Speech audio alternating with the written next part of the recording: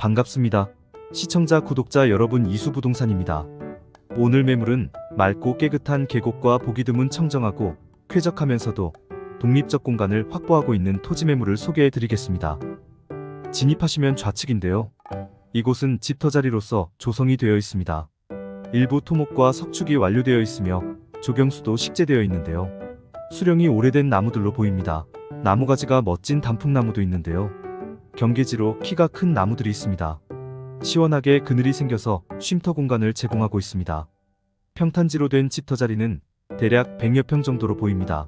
본 토지의 장점은 청정한 계곡에 접해 있어 다용도로 이용이 가능하다는 건데요. 계곡은 잠시 후 내려가 보도록 하겠습니다. 오늘 매물 지적 공부상 내용을 설명드리겠습니다. 용도 지역은 계획 관리 지역으로서 개발 행위에는 문제가 없으며 면적은 전이 413평의 도로 지분이 50평 정도 됩니다. 도로 면적은 변동될 수 있습니다. 참고하시길 바랍니다. 지금 차량이 주차되어 있는 곳 맞은편으로 소나무가 식재되어 있는데요. 면적은 대략 300평 정도 되어 보입니다. 소나무 밭이 있고 집터 자리로 조성이 되어 있는 곳이 있다고 보시면 되실 것 같습니다. 현재 소나무는 조경수로 쓰실 수 있는 나무도 있지만 너무 밀식이 되어 있어 소나무는 소재를 다시 잡으셔야 될 듯 싶습니다. 지금 화면에서 보이시겠지만 나무가 빼꼽히 들어차 있습니다. 너무 밀식이 되어 있어 키만 컸네요. 높이는 4에서 5m로 보입니다. 그늘과 소나무 향은 아주 좋네요. 본 토지의 장점이 하나 더 있는데요. 소나무밭 위쪽과 앞쪽으로 맹지가 있는데요. 향후 추가 매입도 가능하시며 넓은 면적을 매입하시어 다용도, 사업도 가능하지 않을까 싶습니다.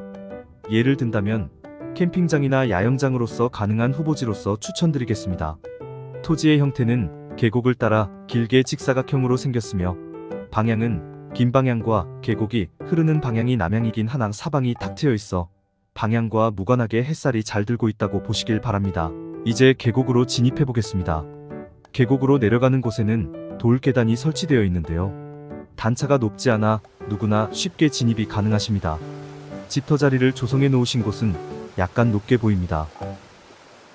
본 토지는 2차선 도로에서 대략 600m 정도 거리에 있는데요. 진입하시는 데에도 크게 불편하지는 않습니다. 저 위쪽이 집터 자리가 있는 곳입니다. 이 계곡의 근원지는 공복산과 태기산에서 흐르는 맑고 깨끗한 계곡으로 보셔도 무방하십니다. 지금 멀리 보이시는 산이 봉복산이 되겠습니다.